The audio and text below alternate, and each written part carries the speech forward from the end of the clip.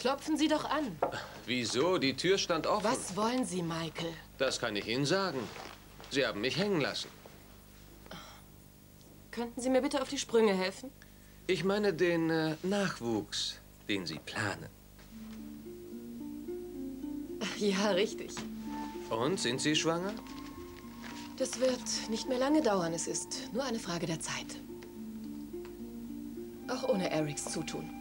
Wenn es nicht von Ihrem Mann ist, wer ist dann der Glückliche? Sie haben also ein Verhältnis, Sheila.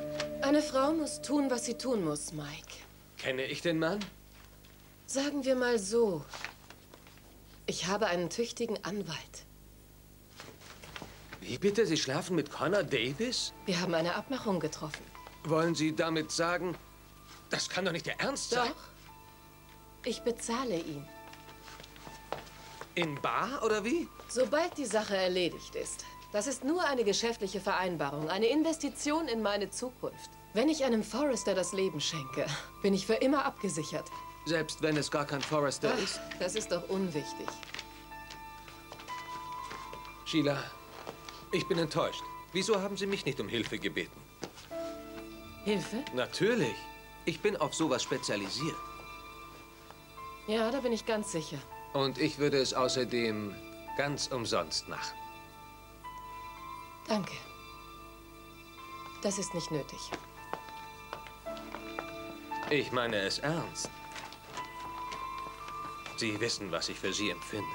Ich wollte Sie vom ersten Augenblick an, das wissen Sie doch genau. Kommen Sie schon, Schätzchen. Wollen Sie es nicht mal mit dem alten Mike versuchen? Ich werde Sie nicht enttäuschen. Bitte? Ich soll ein Kind von Ihnen bekommen? Ja, wieso nicht?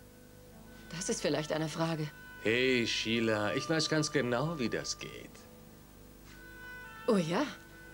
Aber ich will auch was für mein Geld bekommen. Ist das eine Beleidigung? Ach, kommen Sie, Mike. Seien Sie realistisch. Können Sie sich ein Kind, das Ihre Gene geerbt hat, vorstellen? Glauben Sie wirklich, das würde als Forrester-Erbe durchgehen? Ich habe viele Vorzüge. Es tut mir sehr leid. Ich weiß das Angebot zu schätzen, glauben Sie mir, Michael. Aber es geht eben nicht. Naja, was soll's. Nur zu Ihrer Information. Ich bin mehr Mann als dieser Connor Davis. Sprecht ihr zufällig über mich? Hallo. Hallo. Ähm, Mike, wollten Sie noch irgendetwas sagen? Nein. Ich muss jetzt meine Runde machen.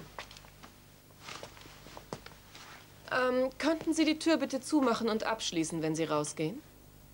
Connor und ich haben etwas Geschäftliches zu erledigen.